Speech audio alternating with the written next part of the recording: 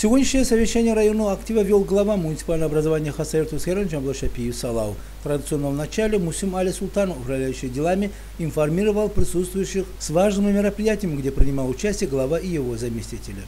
4 апреля в рамках акции, поддержанной главой Республики Дагестан «Зеленые километры» и плана мероприятий по проведению 90-летнего юбилея Советского района состоялось мероприятие по посадке саженцев деревьев вдоль придорожной полосы межпоселенской дороги селения Эндерейгали приняли участие депутаты представительного органа муниципального района, руководители структурных подразделений, подведомственных учреждений, сферы образования, культуры, спорта, федеральных, республиканских территориальных органов исполнительной власти Республики Дагестан, судебных, надзорных, правоохранительных органов власти, социального блока, сферы здравоохранения, представители партийных объединений, общественных организаций, духовенства и молодежных движений. Глава района Салау Джамач отметил о важности проведения мероприятия как сохранения и приумножения экологической культуры и воспитания подрастающего поколения любви к природе. В ходе акции было посажено более тысячи саженцев деревьев, липы, ясеня и клена. Подобные мероприятия будут проходить в сельских поселениях в рамках объявленного месячника по санитарной очистке благоустройства территорий и послужат одним из критериев оценки благоустройства населенных пунктов. 4 апреля в актовом зале Министерства строительства и жилищно-коммунального хозяйства Республики Дагестан состоялось совещание в режиме видеоконференц-связи по инициативе генерального директора государственной корпорации Фонда содействия реформированию жилищно-коммунального хозяйства Цицина Константина Георгиевича по обсуждению вопросов порядок взаимодействия участников инвентаризации централизованных систем водоснабжения. В работе селекторного совещания приняли участие заместитель министра Минстроя Республики Дагестан Абакаров Ибрагим Булуевич и представители сферы ЖКХ органов местного самоуправления региона. От Косаевского района в работе мероприятия принял участие директор муниципального районного учреждения Управления ЖКХ муниципального района Алхаматов Казбек Джалаудинович. 5 апреля в администрации муниципального района состоялось совещание в режиме видеоконференции по инициативе Министерства по земельным и имущественным отношениям Республики Дагестан по обсуждению вопросов инвентаризации газовых и электрических сетей Республики Дагестан под руководством заместителя председателя правительства Республики Дагестан Толстиковой Екатерины Андреевны. В работе селекторного совещания приняла участие начальник отдела имущественных отношений администрации муниципального района Абакарова Дженет Камалдиновна. 5 апреля в здании ОМВД России по Республике Дагестан в Советском районе состоялось праздничное мероприятие, приуроченное 56-й годовщине Дня работников следственного органа – открыл работу мероприятия начальник отдела МВД России по Республике Дагестан в Советском районе Алибеков Арсланбек Абдулмажитович. Председатель собрания депутатов муниципального района Ахаев Марат Шахсултанович и заместитель главы администрации муниципального района Бакиев Имам Паша Кучукович поздравили от имени главы муниципального района работников следственного органа с профессиональным праздником и вручили отличившимся работникам почетные грамоты муниципального района за многолетний добросовестный труд, образцовое исполнение своих должностных обязанностей в связи с профессиональным праздником Дня работника следственных органов. 5 апреля глава муниципального района Салау Джамат Чапич провел аппаратное совещание по обсуждению вопроса о ходе ликвидации задолженностей по налогам, выполнения плана по местных налогов, актуализации земельных участков и объектов капитального строительства в поселениях муниципальных образований, где приняли участие заместители главы администрации муниципального района, руководители структурных подразделений и подведомственных учреждений.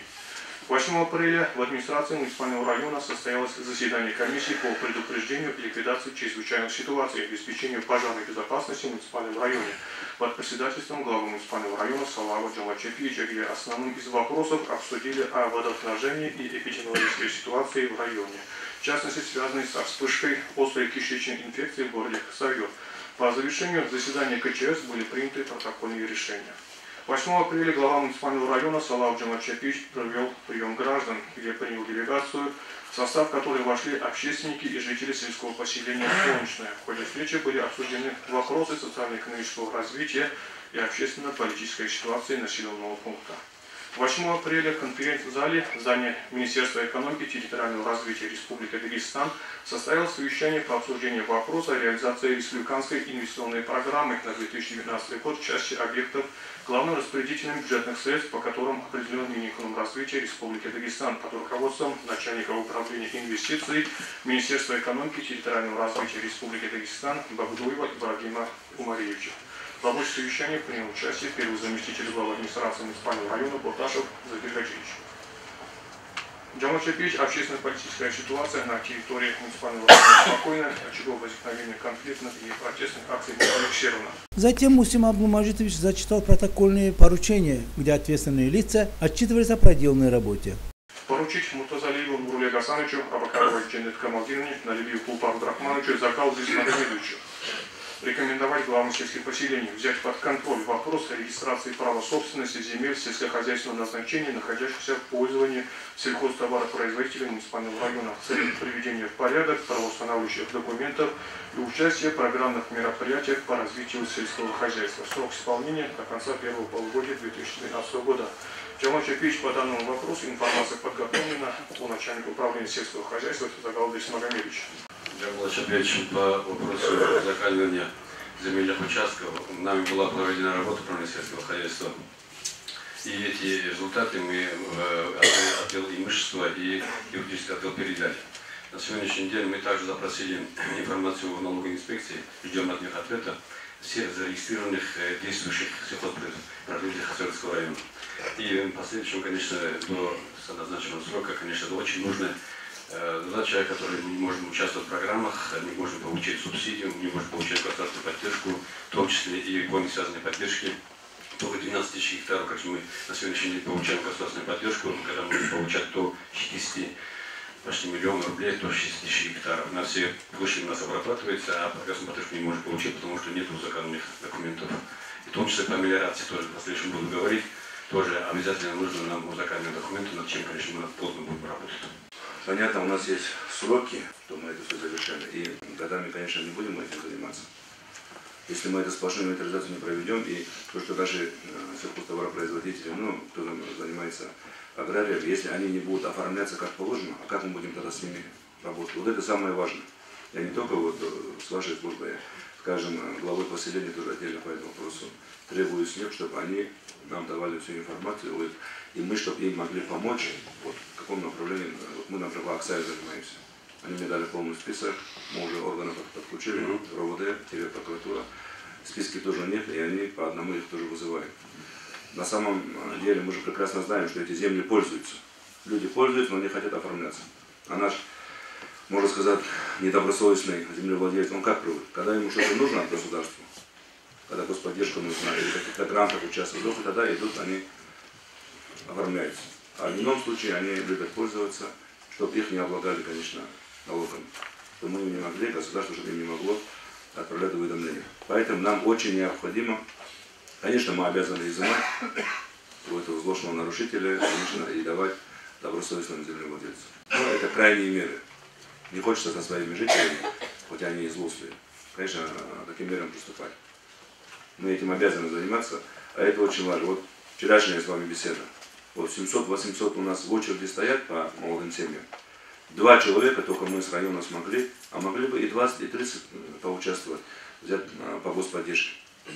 Сколько они ко мне обращаются, вот, даже с этого состава, наверное, многие люди у меня были, и депутатский корпус. Каждый раз вот одни и те же два-три вопроса. Вот, а на самом деле, вот вчера мы с вами создали два человека, которые я вчера утвердил, и можем только мы за них поручиться, которые подходят по этой программе, действительно, которые они и работники сельского хозяйства, и дома их не находятся в таком положении, в котором можно участвовать в этой господдержке. Вот. И 700-800, вот, примерно говоря, два человека с района. Поручить Асаеву Резвану Ильичу, Ревию Тулпах Драхмановича, Бакарова Джинет Камалдинову, Султану Майкуту Джумадилу. Какое предложение по вопросу предоставления муниципальных услуги, выдачи разрешения на установку рекламной конструкции, аннулирования размещения, выдачи предписания на вновь установленную рекламную конструкцию? Части. Определение зон планирования по размещению рекламных конструкций на территории района, регистрации права собственности, мест установления рекламных щитов, порядок получения разрешения на установку рекламной конструкции, установленная цена размещения рекламы на счетах, налоговые поступления в консолидированный бюджет района. Срок исполнения до 9 апреля текущего года. Джамал Чепич по данному вопросу информация подготовлена у Арсаева Резвана Ильича. Владимир Сабирович, данная муниципальная услуга, она закреплена за мной. Мы э, в 2011 году разработали и утвердили на сессии районного собрания положение о рекламной конструкции, об установке выдачи так далее. После этого мы разработали э, регламент и э, разработали технологическую схему по оказанию Ну, это все понятно, это наши правовые акты. Но вы сами же понимаете, что эта работа нами не проводилась. Да, не проводилось. А, Вот. Потому что ни одно обращение к нам не было. Конечно, не будет, если мы эту работу э, не проверяем. Вроде мы здесь э, главное ведомство, которое должно консультировать и взаимодействовать, и э, призывать всех к работе. И это вся ответственность на нас. Наш глава республики уже не раз собирал э, главу муниципалитету именно по этим рекламам, чтобы мы привели в соответствие, в порядок привели. Я вас неоднократно собирал, я вам дал время, чтобы вы изучили этот закон. А у вас каждый раз разное мнение об этом законе. Я вам последний раз тоже дал время. Вы сейчас изучили его? Изучили Ну, прошла уже почти неделя вот, с последней нашей беседы. Кто должен этим заниматься? По придорожной полосе, э, с кем мы должны согласовывать? Отчуждение от федеральной, республиканской, местной дороги. Куда идет какой налог? Какая информация должна быть в этих рекламных счетах? Что вообще называется рекламой? Вот, вот это нам важно. И чтобы мы знали тариф и могли вот по телевидению показывать, чтобы вы могли всем это объяснять. У вас должны быть и в ведомостях, она всегда как э, реклама для них тоже, чтобы люди не просто обращались к вам, если к вам не дошли, чтобы они не могли, чтобы этим заниматься, так не должно быть. Она у нас везде и на сайте, но чтобы вы могли, конечно, заказ вывешенный на сайте наш правовой акт, чтобы вы могли за это юридически могли ответить. Вот самое важное. Рекомендовать Мажиду Валерию Ибрагимовичу подготовить информацию в табличной форме по состоянию общекишечной инфекции на территории района. Срок исполнения каждый понедельник следующей недели. Калачапись по данному вопросу информация подготовлена Валерий Ибрагимович. По области кишечной инфекции по Хазаевторскому району проводятся противоэпидемические профилактические мероприятия по, по предупреждению возникновения острой кишечной инфекции. Во всех случаях острой кишечной инфекции информация передается в эпидотдел, секретарь-отдела в Республиканский центр инфекционных болезней и в э, территориальном управлении Роспотребнадзора. Значит, э, ситуация на сегодняшний день. У нас 21 детей лежат в инфекционной больнице и в кишечном отделении. У детей самочувствие. Это то, что мы с вами вчера Да, обсуждали. вчера обсуждали. Это который у нас идет естественная жизнь. Это, это не в рамках какой-то там эпидемии, там проблемы, то, что вот недавно было в городе, чтобы я хочу, чтобы Да. э, коллеги наши знали, люди болеют, попадают в больницу, кто стационар, кто просто получает услугу медицинскую, возвращается, ну, по-разному. Это все, что у нас, да, нам самое главное важно, вот как мы вчера обсудили, вот именно по этому чрезвычайной ситуации, чтобы у нас вот это, чтобы мы от этого были спасены. Но мы не должны расслабляться, уважаемые коллеги, потому что сейчас э, ротовирусная инфекция – это сезонные заболевания. Ротовирусная инфекция – это инфекционные заболевания острые, которые поражают кишечник. Им подвержены в основном дети от 3 месяцев до 6 лет. И, э, значит, э, контактный бытовой есть способ, есть способ передачи водной. Если вирус есть в воде, значит, обычно, поражаются дети. Поэтому мы провели семинарские семинары в школах, медицинские работники проводили, обучали, и медперсонал обучен. И каждый врачебный участок поделен на микроучастки, в которых закреплены медицинские работники. Поэтому я вас призываю всех, чтобы вы были настороже, потому что это сезонные заболевания, чтобы вы сами проводили с населением тоже беседы. Поручить Алию Султановой Зубрей Джумадине подготовить план мероприятий на 2019 год по достижению значений индикаторов, направленных на снижение неформальной занятости, легализации заработной платы, повышению собираемости сроковых взносов во внебюджетные фонды срок исполнения до 9 апреля. В соответствии с протоколом у первого заместителя председателя правительства Республики Дагестан Гусейнова Гаджи Магомеда Гаджи по вопросу увеличения налоговых поступлений в консолидированный бюджет Республики Дагестан в отрасли розничной торговли горюче-смазочными материалами подготовить информацию о проделанной работе по проверке объектов АЗС, расположенных на территории муниципального района. Срок исполнения до 9 апреля. По данному вопросу информация подготовлена Джамал Чепич о Аль-Султану против отдела. По данному вопросу у нас было принято распоряжение номер 21 от 21 марта была составлена дорожная карта в рамках э, заданий, которые нам спускалось правительство. Комиссия наша, как и прежде, она продолжает работать и достаточно активно. На прошлой неделе было два выезда, 3 и 4 апреля, но, к сожалению, есть такое, этот самый, кто-то пускает сигналы, и почти многие из наших коммерческих таких объектов, как торговые, там, мастерские и другие, бывают э, предупреждены, видимо, бывают закрыты. Но, однако, эта работа, конечно, на этом не останавливалась. Мы находили хозяевов, звонили, и на, вот буквально вчера тоже пару двое приходили по оформлению земельного своего Но это уже участка. хорошо, да, если они уже закрываются, они уже чувствуют они, опасность. Они, да, они закрываются, Но их, они уже Конечно, их выявить, их там определить или там по домашнему адресу определить, это уже, конечно, второй этап, мы можем к этому тоже приступить. На это у нас есть очень большие силы. Но самое главное, что знают, и э, самое главное, чтобы они не думали, что мы их просто так оставим. Нет, конечно, мы... Мы это пока их просто упреждаем, да, да, пока их призываем, хотим, чтобы они действительно на плоскость такую. По поводу неформальной занятости тоже им объяснялось, что должны быть, как мы решали, 4-5 человек на всех АЗСах, и что это влечет за собой, естественно, нашу зарплату, чтобы была она открытая легальная, и, соответственно, страховые взносы, пенсионное отчисление. Потому что всем, кто еще не на пенсии, грозит выйти на пенсию, у них без страховых взносов. Ну, по АЗС у нас, по АЗС у нас определенная работа отдельно проводится. Да, да, она тоже делается. Вчера вот мною была прокуратура направлена на 15 АЗС, у нас закрыты, уже закрыты. Сегодня они будут все закрыты, потому что они без отсутствия ну, лицензии, самое главное документы, они свою деятельность ведут комиссии были представлены вот эти материалы на все вот эти АЗС. Но она, конечно, естественно, будет продолжаться. А сплошная инвентаризация наших коммерческих объектов, это по нашей дорожной карте, она будет идти в течение года.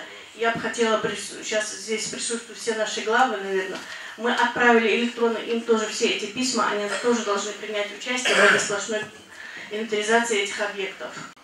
И вам не нужно просто там сидеть, ждать, когда же у вас поселение будут все коммерческие объекты или там производственные предприятия когда из районного руководства придут и э, в соответствии приведут эти все объекты. Так не должно быть. Вы должны на местах, вы же все это знаете. Это же спок... просто спокойного вашего внимания и попустительства это все проходит. И э, в любой объект зайдите, вы обязаны у них потребовать. Это ваша работа. Потребовать у них документ. Оформление их, какие они осчитали налоги за истекший год. Вот я, например, по району, уже вот по крупным нашим предприятиям, уже вот веду вот такой анализ. У нас составляются уже папки.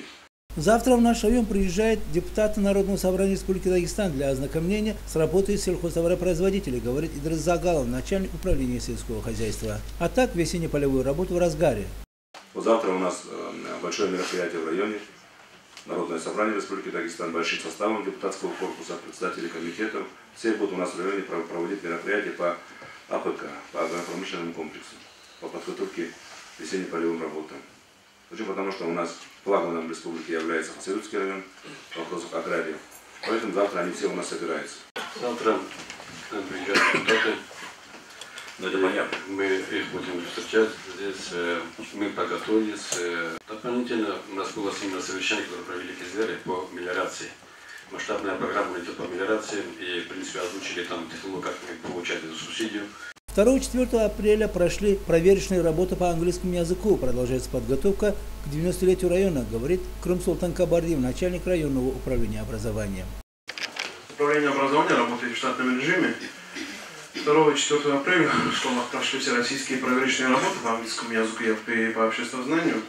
И в рамках мероприятий, посвященных 90-летию Советского района, 6 апреля во всех образовательных организациях стартовали субботники. Ведутся работы по посадке деревьев, цветов, э, побелка деревьев, бордюров, э, обрезка деревьев, кустарников. Такие работы ведутся во всех образовательных организациях.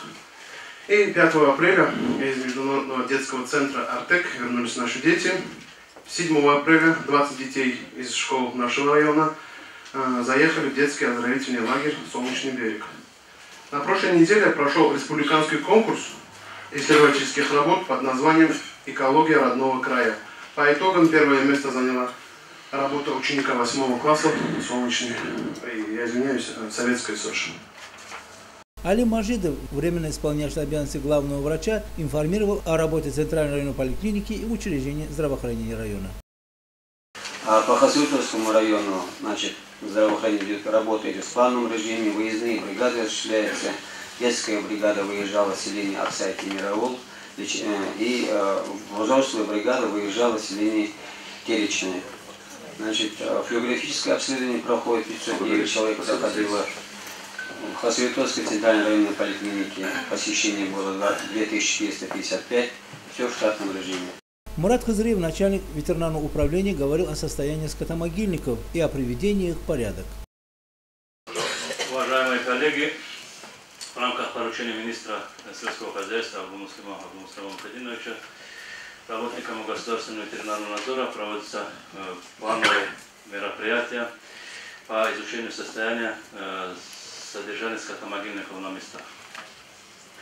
Э, эта работа в более усиленном режиме ведется после того случая, когда городе Хасарте была зафиксирована острая кишечная инфекция у детей.